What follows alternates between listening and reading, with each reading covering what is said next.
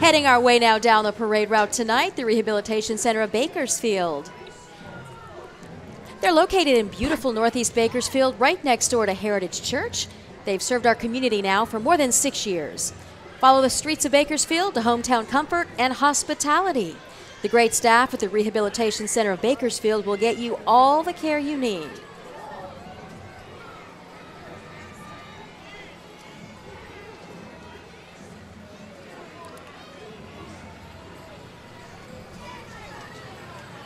Well, I spoke too soon about the Bakersfield Arch, eh?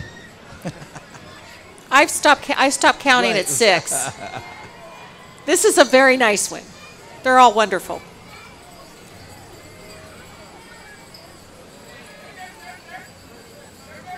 Merry Christmas, everybody. Merry Christmas. Very nice.